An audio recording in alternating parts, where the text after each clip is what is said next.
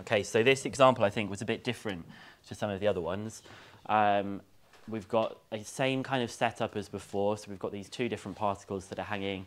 Most of this information up here is pretty just whatever's in the diagram, really, isn't it? Like everything here, it says it starts from rest, and this is what it looks like. So I'm not going to worry too much about what it says there. Um, I think part A, part B, and part C is the kind of straightforward sort of stuff that we already know how to do. So we'll go through that really quick, and then we'll try and get on to part D quite quickly, okay? So I'm going to first of all start off with thinking about the forces that we've got on this diagram. We should have got quite used to what these forces look like. It says that P is 0.5 G, and Q therefore is the other one, which is 0.4 G.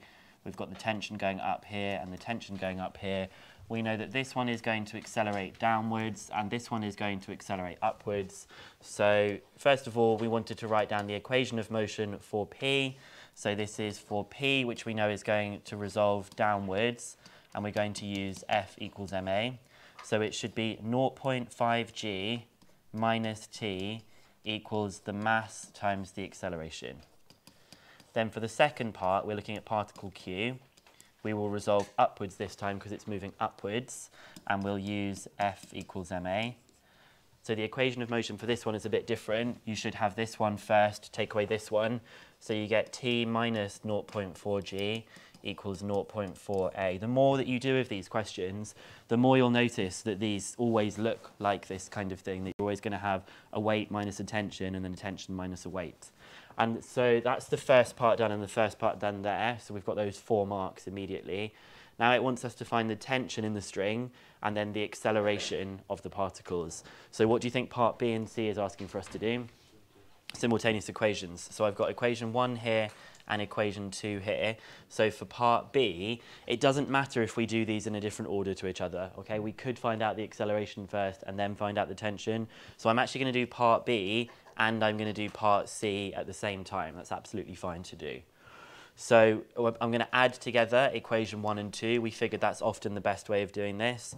So I'll have 0.5g minus t plus t minus 0.4g. So the, the t's are going to cancel and we just get 0.5g minus 0.4g equals these two bits added together, which is 0.9a. So that becomes 0.1 g divided by 0.9 is equal to a. So a is a ninth g. And if we wanted that as a decimal, I think it's probably not going to be a particularly nice decimal. Uh, yeah, we probably won't want to have it as a decimal. We'll keep it as a fraction as 49 over 45. So we either keep it in terms of g or not. Which equation do we say is better to use to find out the tension for part C or for part B? the second one. I think the second one looks easier. So now we're going to rearrange 2. So we get t equals 0.4a plus 0.4g. So that's 0.4 multiplied by this, which is 49 over 45, plus 0.4 times 9.8. So we're going to multiply that by 0.4 and add on 0.4 times 9.8 and we get that the tension is 4.3555 recurring or just 4.36 newtons to three significant figures. Okay, I guess I should have really said that the 49 over 45 is 1.09 meters per second to three significant figures. That bit I'm sure was easy. I'm sure you're all able to do that bit. We've done B and we've done C. This is where things now start changing. It says when the particles have been moving for 0.2 seconds, the string breaks. The string breaks. So if the string breaks, is there going to be, what's going to change about this situation? The tension. The tension is no longer there because the string has snapped. So it's not tight anymore, which means there's no tension. So after 0.2 seconds, the string is going to break, which means the tension will then become zero. We want to then find the further time that elapses until Q hits the floor. So we better think about what happens here. Q is moving upwards for 0.2 seconds, then the string breaks, and when the string breaks there's no tension, which means there's going to be a new acceleration. The acceleration for this particle, we can very quickly tell what the acceleration will be by looking at this, and we'll do that in just a second. And then we need to find out how long it takes for it to hit the floor. So there's a few bits of information that we're going to need to do for part D of the question. First of all, we're going to have to work out um, in... Why does it do this? It's so annoying. So we're going to talk about the first 0.2 seconds of motion. And we know that the acceleration is 49 over 45 because we worked that out over here. We know it starts from rest and we know that it's traveling for 0.2 seconds. And I'm going to start off by finding out what speed it is going at at that point that might be something that we need to use for the second part of the SUVAT. Because do you remember we said that the V becomes the U? So I'm going to work out V by doing U plus AT, which is just 0 plus 0.2 times 49 over 45,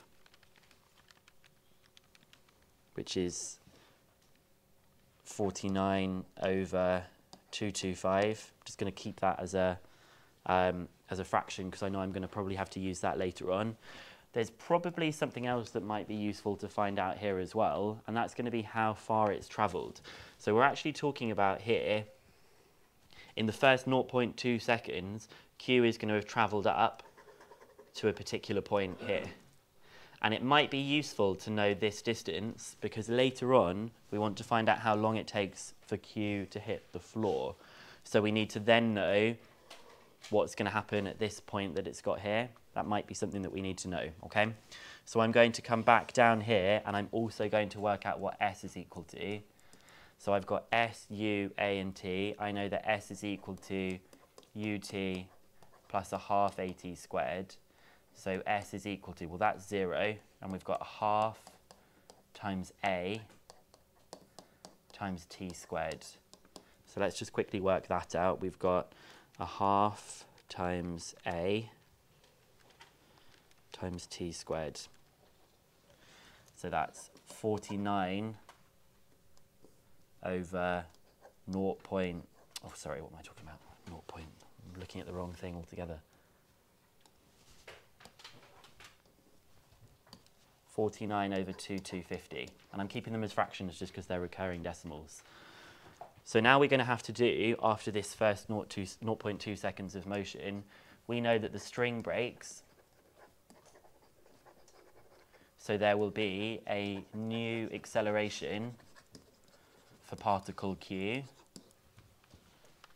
And the reason that there will be a new acceleration for particle Q is because if we have this thing here, and I just examine what happens, because the string breaks and the tension becomes zero, the equation of motion changes and you get minus 0.4g equals 0.4a. If you divide both sides by 0.4, you get that the acceleration is minus g, or the acceleration is minus 9.8. So we're now going to do a final bit of SUVAT. So we're going to now say after the string breaks. And we're going to try and do a last bit of SUVAT to think about what's happening here. Well, we know that the acceleration is minus 9.8. We also know what speed it is travelling at when the, speed, when the string breaks. What's the speed it's travelling at? Um, just this, not, not the root of this, just this one, just 49 over 225. Because the old final speed becomes the new initial speed. And we're trying to find out, find the further time that elapses until Q hits the floor. Okay, looks like we're taking this direction as positive, right? So let's go back to the diagram for a second. We're now trying to say how long does it take for particle Q from here, how long is it going to take for it to hit the floor down here and we have taken upwards as our positive direction. So what do you think is my last type of thing I need to say about for this? Can I say what S is or what V is or what T is? What can I write down for this bit here?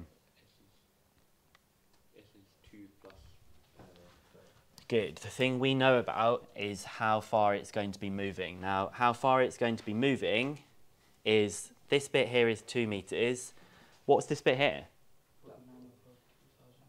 Yeah, we worked that out. It was 49 over 2,250.